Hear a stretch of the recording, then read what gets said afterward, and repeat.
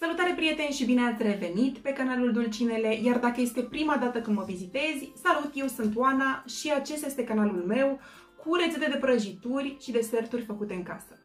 Astăzi facem un dulcinel mega delicios, în două culori, cu cremă de vanilie, cu biluțe de brânză, cu cocos, Carla îi spune, cum îi spune, dulcinel cu ochelari. Dar, după cum vedeți, acesta nu este un video cu care v-am obișnuit. De obicei, nu mi-arăt uh, fizionomia, m-am machiat, mi-am întins peruca. Înainte de a începe rețeta, am un mic anunț pentru voi care durează fix un minut.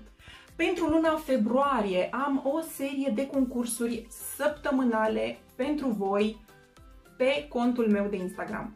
Vorbim de vouchere de cumpărături EMAG pe care le ofer împreună cu noi mei colaboratori de anul acesta.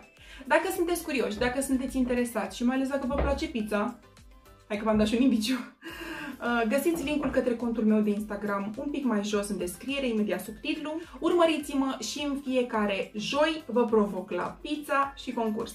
Și cine știe, poate vă pricopsiți cu un voucher de cumpărături pentru ziua îndrăgostiților, pentru dragobete, de mărțișor, de ziua femei. Dacă urmăriți acest video mai târziu și să zicem că a trecut perioada concursului, uh, nu e nicio problemă, puteți să mă urmăriți. Uh, eu am uh, foarte multe videoclipuri și acolo pe Instagram, am foarte multe rețete, am dulcinele, am gustări rapide, am idei de prânz, am idei de cină, idei de pachetel pentru școală, mă puteți urmări pe story, vedeți ce năzdrăvănii au mai făcut fetițele mele, ce năzdrăvănii au mai făcut porcușorii, pentru că, na, cine mă urmărește pe Instagram știe că noi avem porcușori de Guinea și ne jucăm destul de frecvent cu ei și sunt super, super cute. Desigur, eu îmi voi păstra activitatea pe YouTube și voi încerca să uh, păstrez o constanță în a posta videoclipuri, desigur, în măsura timpului. Vorba lungă, sărăcie, v-am ținut prea mult la palavre, știu, știu, vreți să vedeți rețeta.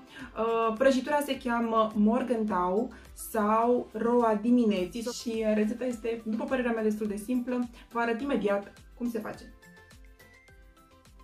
Prima dată vom face biluțele de brânză și cocos, așadar vom folosi 250 de grame de brânză proaspătă, 3 linguri de zahăr, un gălbenuș și eu am mai, am mai pus și uh, un extract de cocos, este pur opțional, dacă aveți, dacă nu, ok. Amestecăm un pic și apoi vom adăuga fulgi de cocos. Am pus 65 de grame de fulgi de cocos, și am amestecat. Veți observa că uh, textura acestei creme, să zicem, da? cremă de brânză cu cocos, uh, se va întări. Da? Și uh, va fi ușor lipicioasă, dar se va întări și putem să formăm cu ajutorul unei linguri. Da? Vom lua, să zicem, uh, jumătate de lingură din această cremă de brânză cu cocos și vom forma niște biluțe.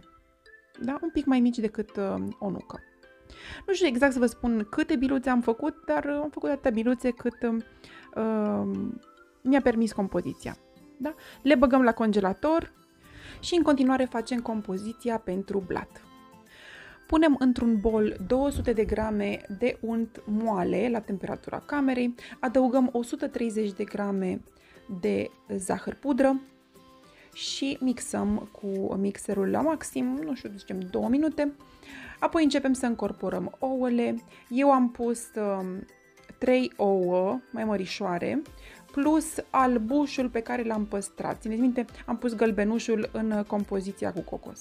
Adăugăm și sare, mixăm și urmează uh, agentul de creștere. Am pus două lingurițe de praf de copt, două lingurițe de zahăr vanilat bourbon și vom folosi 150 de grame de smântână. Nu smântână lichidă, vom folosi smântână aceea fermentată. Am folosit o smântână cu un procent ridicat de grăsime, cred că 24%. Apoi vom încorpora făina treptat, am cernut-o, am folosit 270 uh, de grame de făină pe care am încorporat-o treptat. Da, am cernut, am amestecat, am cernut și tot așa.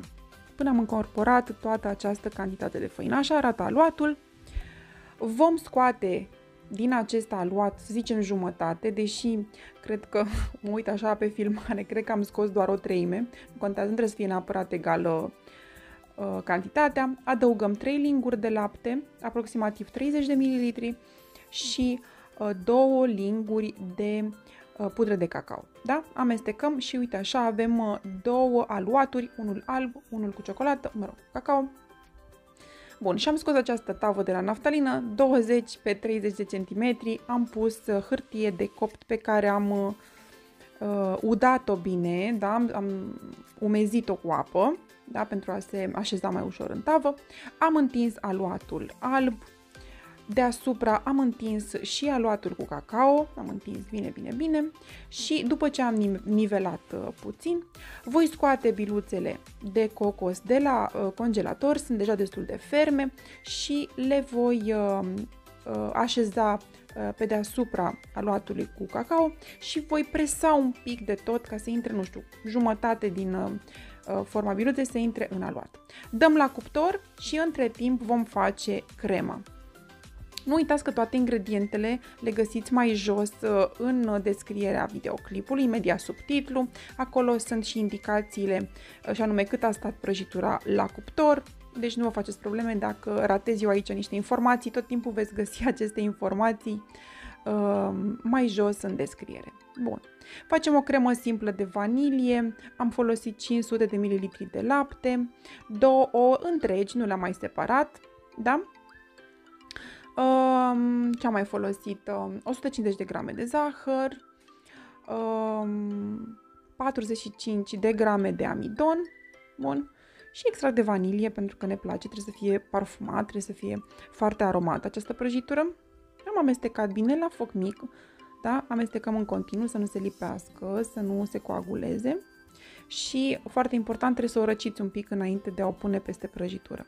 Prăjitura, după cum vedeți, este deja coaptă, Întindem crema călduță, dar nu este complet răcită, dar nu e nici foarte fierbinte. O întindem peste prăjitură și vom presăra la sfârșit deasupra uh, ciocolată răzuită. Eu am niște fulgi, cred că am, așa am cumpărat.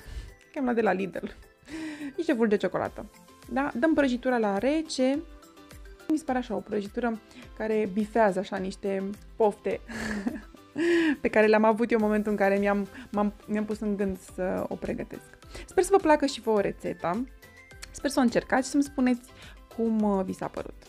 Uh, sper să vă înscrieți la concurs. da? De astăzi încep uh, seria de concursuri. Sper să vă înscrieți la concursuri pe contul meu de Instagram și aici pe YouTube. Cred că ne vom auzi cât mai curând. Vă interesează să fac un aluat de pizza? În ultima vreme chiar uh, am experimentat și am descoperit un aluat de pizza senzațional. Dacă vă interesează, dacă ați ajuns până la sfârșitul videoclipului și auziți acest mesaj, scrieți-mi mai jos în comentarii dacă vreți să vă fac aluat de pizza. De data asta chiar am terminat. Uh, vă pup, ne auzim, pa, pa!